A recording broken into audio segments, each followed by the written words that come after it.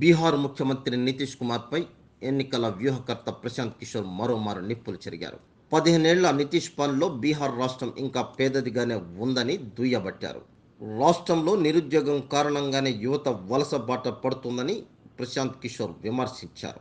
నిరుద్యోగులు ఉపాధి కోసం వలసలు వెళ్ళటం తప్పు కాదనే నితీష్ అభిప్రాయాన్ని ఆయన తీవ్రంగా ఖండించారు. ఢిల్లీ అల్లర్లలో నలభై ఆరు మంది చనిపోతే ఒక్క మాట కూడా మాట్లాడకపోవటం శోచనీయంగా పేర్కొన్నారు. వచ్చే ఎన్నికల్లో రెండు వందల స్థానాలు గెలుచుకుంటామని నితీష్ చెప్తున్నారని తన పదిహేనేళ్ళ పాలనలో రాష్ట్రంలో సాధించింది ఏముందో తెలపాలని ప్రశాంత్ కిషోర్ ప్రశ్నించారు. నితీష్ పాలనలో బీహార్ రాష్ట్రం పేదదిగానే మిగిలిపోయిందనే విమర్శ అన్నింటా వ్యక్తమవుతుందని దానిపై ఆత్మవిమర్శ చేసుకోవాలని ప్రశాంత్ కిషోర్ సూచించారు.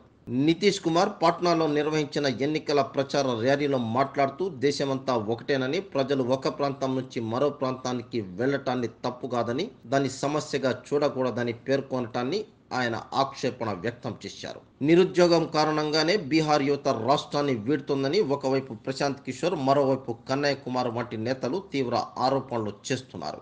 ఈ నేపథ్యంలోనే నితీష్ కుమార్ స్పందించారు.